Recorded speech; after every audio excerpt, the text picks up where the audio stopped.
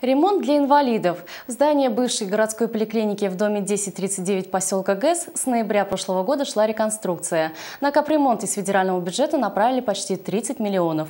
Теперь здесь расположится Центр медико-социальной экспертизы. Сегодня проделанную работу и текущие задачи оценили мэр и курирующий это направление Госсовете Республики депутат Светлана Захарова.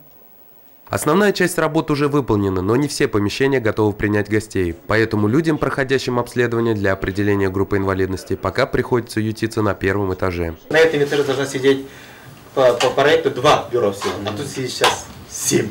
Всего же в центре будет размещено 10 бюро. Из них 5 для взрослого населения, 2 детских, одно психиатрическое и 2 отделения главного экспертного состава. Все бы хорошо, но имеется серьезная проблема с парковкой. Ее у центра вообще нет. Мы можем вот сюда поставить между двумя деревьями, сделать одно машино-парковочное место, поставить туда знак для инвалида-колясника. Его специально привезли, машина туда стала, аккуратно выпустили. Василий Шихразиев предложил примерный план небольшой парковки, который сможет обеспечить подъезд к зданию с двух сторон. Если этот проект удастся реализовать, то одним серьезным вопросом станет меньше, а эффективность работы учреждения только вырастет. После того, как мы все это внедрим, всю систему, система электронной очереди, запись, и, также будет создана комфортные условия зала ожидания, я думаю, будут созданы для населения такие условия, чтобы уже они не чувствовали себя ущербными. Центр медико-социальной экспертизы сможет принимать более 100 пациентов в день из 8 районов республики.